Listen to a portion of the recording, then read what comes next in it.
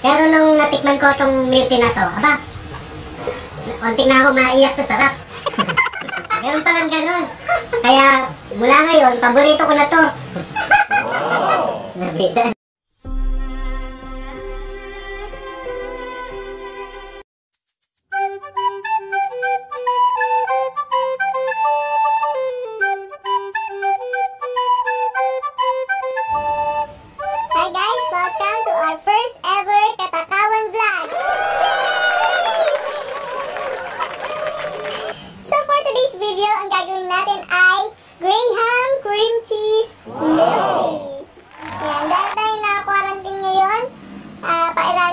Ating katakawan.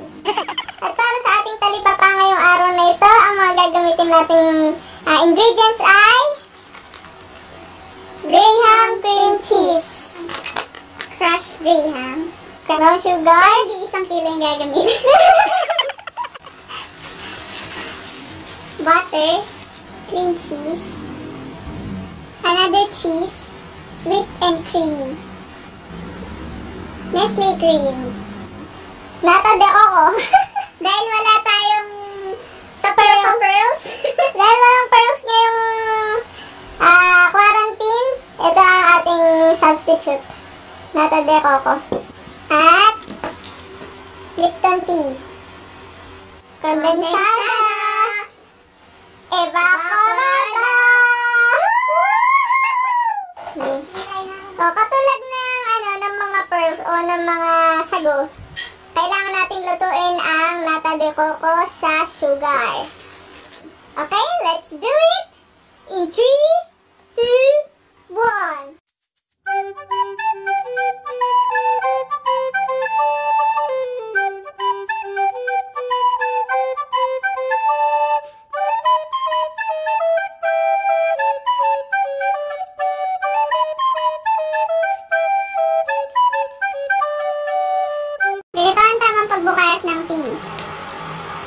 Meron bang hindi nakakaalam niyan? Meron. Nung first time ko, hindi ko alam eh. Yan. Tapos, makikita mo yung parang tape dyan. Tanggalin mo yan. Yan.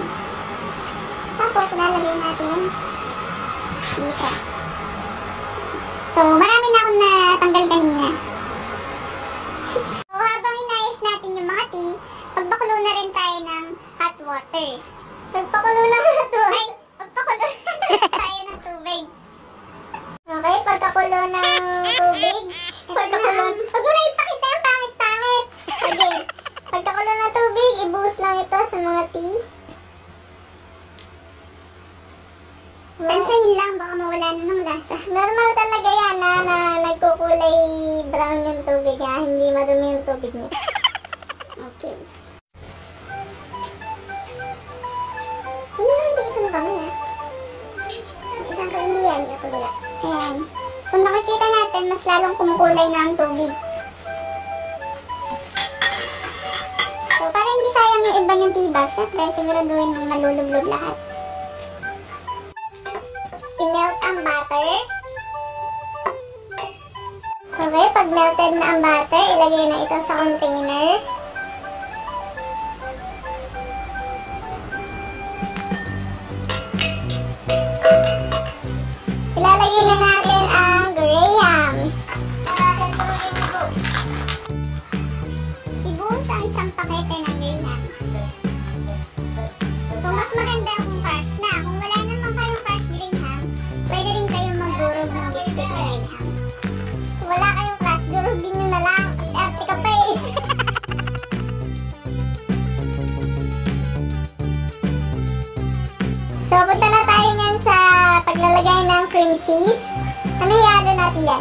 Cream cheese, ah, all-purpose cream.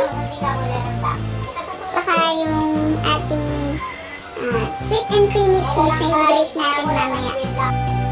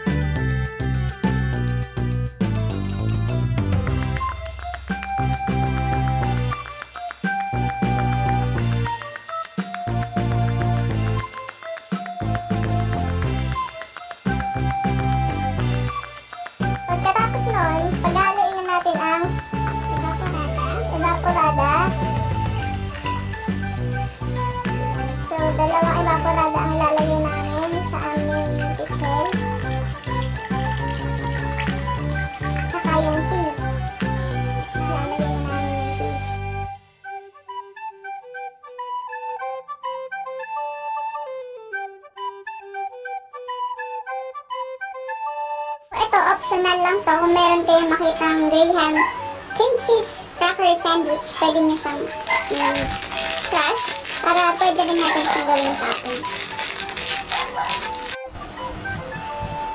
Okay, sisimulan na natin maglagay sa baso.